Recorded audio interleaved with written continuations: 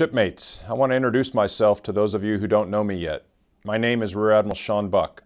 This past summer, the CNO stood up an office in Washington called the 21st Century Sailor Office.